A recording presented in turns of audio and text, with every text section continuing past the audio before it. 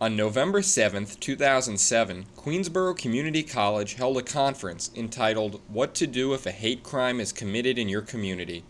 What follows are powerful excerpts from the experiences and concerns expressed that day by both panelists and audience. We had a revolution go on in our country. Big revolution. You wouldn't call it a revolution, but let me tell you, it was a revolution. It was the civil rights movement. And we had a general. His name was Dr. Martin Luther King. I'm glad the clarification was made regarding um, that all hate crimes are not violent crimes because they can be seemingly insignificant incidences. Uh, being in a store and a security guard follows you around because you're black. When I was younger and uh, my immediate reaction was anger, I'd go to my father. My father would calm me down, my mother would calm me down. They are Christian, they beat me, left me unconscious on the street, on the sidewalk. They thought I am Arab.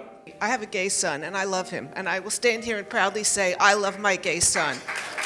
And when I said, this one is gay, the girl in the front of the room said, faggot, and the boy in the back of the room said, shoot him. I realized that one of the things that we have to do as educators is educate not only the youth and the leaders of tomorrow, but educate the people around us. One, stand up to prejudice when you meet it personally.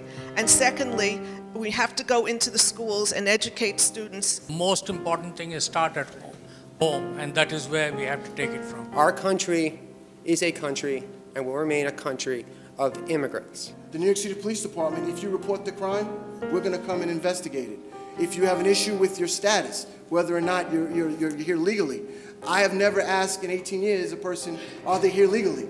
I don't care. By working collectively, we can ensure that the civil rights of our country has guaranteed are real and unalienable. When a hate crime occurs, unfortunately, the victim cannot change anything. They can't change the color of their skin or their religion. You can't run away from it. You can't protect yourself. You're exposed. There's no superior race in this state and in this county, okay?